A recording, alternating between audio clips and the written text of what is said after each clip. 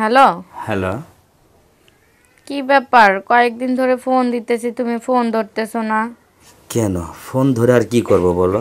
এখন তুমি যা হবার তো হয়ে গেছে আমি ফোন ধরে আর কি করব তোমার? কেন? তুমি তো ভালো করেই জানো যে আমার হাজবেন্ড ভালো না শাশুড়ি অত্যাচার করতো। যাই হোক এত কিছু আমার ভালো লাগে না। টানা দুই তিন বছর যেহেতু দেখছি তুমি তো জানোই যে আমি ওরে ডিভোর্স দিছি। আমি আর চাই নাই ওর সাথে থাকতে। এত অত্যাচার আর ভালো লাগে না। হ্যাঁ ঠিক আছে। এত অত্যাচার তোমাকে যদি ভালো না লাগে তুমি আমার আগে বলা পারতে তো। তোমার বিয়ের আগে তুমি আমার সাথে যে সম্পর্কটা তৈরি করলা আর এখন বিয়ে হয়ে গেছো আবার তোমার স্বামী এই রকম তাহলে কেন আজকে তুমি আমার সাথে এরকম করতেছো বলো? এরকম করতাছি মানে কি? তুমি সব বুঝা যদি না বুঝার ভান ধরো যাই হোক যাই হইছে হইছে। মানুষ তো ভালোবাসার মানুষ ভুল করলে সব ক্ষমা করে দিয়ে তাকে আবার অ্যাকসেপ্ট করে। তুমি নতুন করে আমাকে আবার অ্যাকসেপ্ট করো তোমার জীবনে। আমি? আমি এটা কখনো পারব না। এখন যদি তুমি আমার সাথে সময় নিতে চাও বা যদি আমার সাথে এরকম কিছু করো তাহলে আমার সাথে টাইম পাস করো তুমি। আল্লাহ। কেন? টাইম পাসে কি জীবন চলবে? সারা জীবন আমাকে দেখবে কে? আমি দেখব। জাস্ট ওভাবে তুমি টাইম পাস করব আমার সঙ্গে। আমার যখন প্রয়োজন তোমাকে ফোন দেবো তুমি আমার বাসায় আসবা। এটা কেমন দেখায় না? তাহলে তুমি কেন আমাকে তুমি ছেড়ে তুমি অন্যের হাত ধরে তুমি চলে গেলে তুমি বিয়ে হলে তুমি সংসার করলে? এখন এসে কেন বলতেছে এসব কথা? দেখো তুমি তো নিজেই জানো তুমি তখন মাঝে দিয়ে অনেক এক দেড় বছর আমার সাথে ভালো করে কথা বলনি তুমি ঢাকা চলে গেছিলা। ওই সময় আমি কি করব? ও আমার লাইফে আসছিল আমারও ভালো লাগছিল। ভাবলাম এইভাবে আর কতদিন? তুমি হয়তো আমাকে ভুলে গেছো। তাই আমি ও ফ্যামিলিকে বলল, আমিও বললাম, তারপর বিয়ে করছি। আমি কি ভেবে দেখছিলাম যে ও বিয়ের পর এতটা চেঞ্জ হয়ে যাবে? না, আসলে তুমি যে বিয়ে হয়েছো, আমি এটাতে অনেক সন্তুষ্ট বা অনেক খুশি। কিন্তু তুমি তো একটাবার ভাবো নাই যে তোমার বিয়ের আগে যে আমি আমার সব কিছুই আমি নিয়ে নিছি, সেটা তুমি একবারও ভাবো নাই? যে বিয়ে করলে তুমি যে তোমার স্বামীকে তুমি কিছু দিতে পারবে না, সেটা কি তোমার স্মরণ ছিল না? কি বলো? কি যে বলুম? দেখো এটা তো আসলে এত কিছু মাথায় ছিল না আমার। আর ওর জন্য তো আর দায়ী আমি ছিলাম না। তুমি জানোই যে আমি ওভাবে ওগুলা পছন্দ করি না। কিন্তু যাই হোক ভুল তোমারই বেশি ছিল। তো ওই বিষয়গুলা নিয়ে এখন না কথা বললেই না। তুমি আমাকেই দোষ দিচ্ছ আমারই ভুল। হুম। বাহ অনেক সুন্দর কথা বলছো। তুমি আমারে দোষ দিলে আমারে ভুল ধরলা তাই না? কিন্তু ভুলটা যে তুমি করে গেলে সেটা তো আর আমাকে বললে না। যাই হোক তুমিও তো আমাকে ছেড়ে এভাবে করে এত দিন তুমি ঢাকা গেছো গেছো একটা ফোন দিতে পারতা আমার নাম্বার তোমার কাছে ছিল। এমন কি এমন পরিস্থিতি ছিল যার জন্য তুমি আমার সাথে কথাই বলো নাই?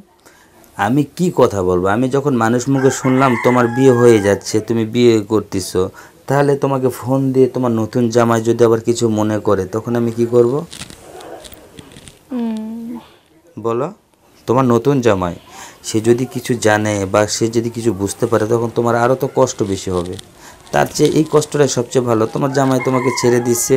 এখন তোমার বাবার বাড়িতে থাকো আর আমার সাথে সময় দাও। কি পারবে না?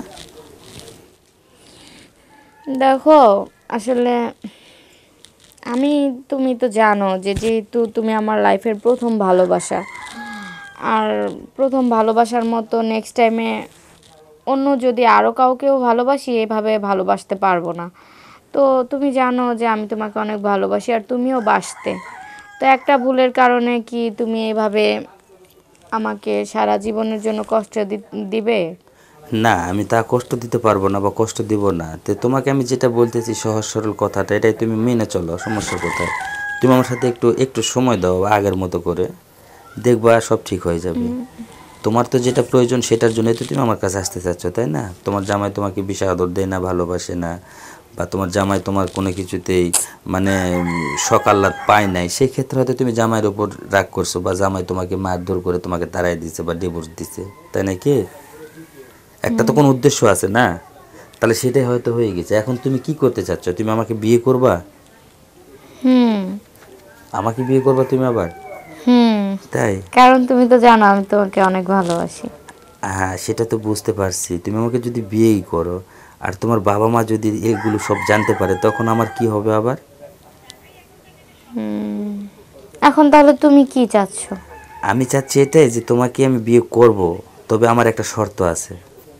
সেটা কি?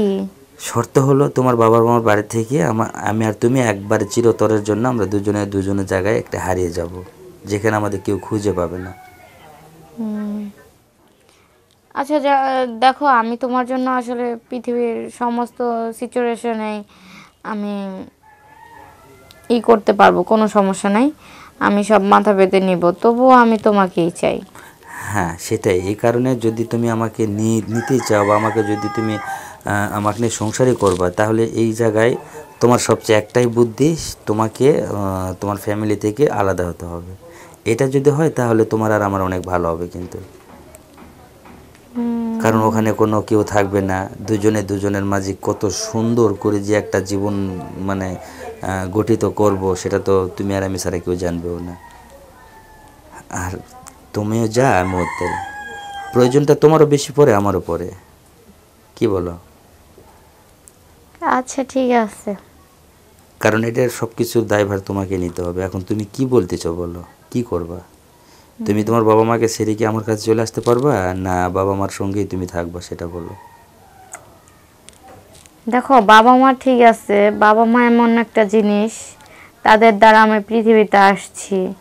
কিন্তু স্বামীও এমন একটা জিনিস যার, যে আমাকে সারা জীবন আমার ভরণ পোষণ সব কিছুর দায়িত্ব নিবে। তো আমার কাছে তো হিসাবে স্বামী, স্বামীরও দরকার আছে অনেক। তাহলে তোমার জন্য আমি ও সবাইকেই ত্যাগ করতে পারব। তবুও আমি তোমাকেই চাই।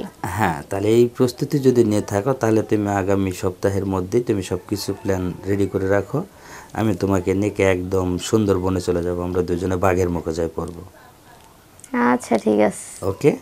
আচ্ছা আর কোনো কথা বলবা লক্ষ্মী আমার?